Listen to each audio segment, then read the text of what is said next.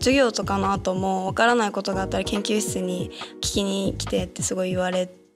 で研究室に行くとあのすごい個人的にあの詳しく教えてくださるのでそこら辺はすごい本当に市民になってお世話になりました。化粧品とか医薬品とか食品とかそういった生活にすごい身近なものから環境とかバイオテクノロジーなどののすごい未来に近いものまでさまざまな研究ができることが魅力だと考えています製薬会社研究施設出身の先生が多くその専門性の高い授業及び実験をすることができるというのが魅力の一つです。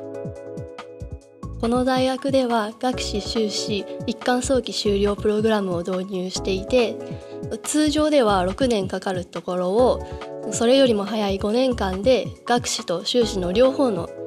学位を習得することができます。えー、専門教科も、えー、もう名前がもうわからないぐらいのものからあなんとなく知ってるなぐらいまでの科目が幅広くあるんですね。それを、えー、自分の好きなように選択できるというのは大きなことだと思います。履修してみると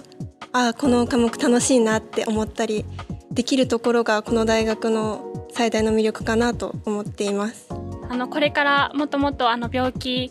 の薬を開発するにあたっても重要になる分野ですのでそういったところを、えーと、学べるというのがすごく自分にとっては魅力的かなと感じています。この大学ではあ学生でも先生でもすごく優しくて私のような留学生でもすぐ友達になれます。珍しい機材や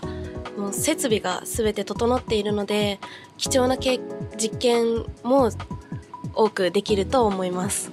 えーと、教授も実際の現場で働いた働いていた経験のある方が多くより実践的なことを学べたりしてやっぱりこの大学に入ってよかったかなって思っています。